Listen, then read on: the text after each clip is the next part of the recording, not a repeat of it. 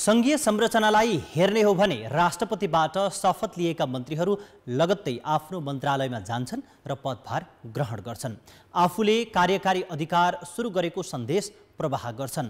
स्थानीय तहको सरकार मानिएका निर्वाचित जनप्रतिनिधि भने शपथ ग्रहण गरेपछि आफू खुसी पालिकामा गइरहेका छन्। ताप्लेजुङका कतिपय पालिकाका अध्यक्षहरूले त शपथ लिएको तिन दिनपछि मात्रै कार्यालय पुगेर पदभार ग्रहण गरेका छन्। अध्यक्ष प्रमुख पदको कामकाज प्रचलित कानुनको अधीनमा रही।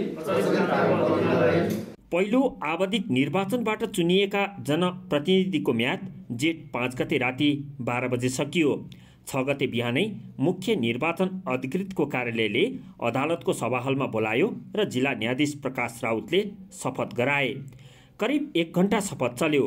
त्यस लगत्तै फुङनिङ नगरपालिका प्रमुख अमिर मादेन सिदिङवा गाउँपालिका अध्यक्ष मानबहादुर राई र मैयाखोला गाउँपालिका अध्यक्ष विजय प्रकाश वनेम आफ्नै पालिका गए। मादेन्द्र राईले पदभार पनि ग्रहण गरे तर बाँकी जनप्रतिनिधिलाई पदभार ग्रहण गर्न सोमबारसम्म लाग्यो। शपथ खाइसकेपछि आफ्नो कार्यकक्षमा गइन्छ र गएर एउटा निर्णय गरेर चाहिँ पदभाली ग्रहण गर्ने चलन हुन्छ।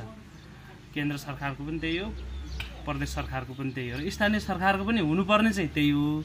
तर हाम्रोमा चाहिँ कस्तो देखियो भने शपथ खानै खाइसकेपछि कोही बजारतिरै जनप्रतिनिधिहरू बसेको छ कोही कता बसेको छ कोही बिदा पर्यो भनेको छ कोही पर्सि पदभार ग्रहण गर्ने भनेको छ यसरी अल्मलिएको देखियो।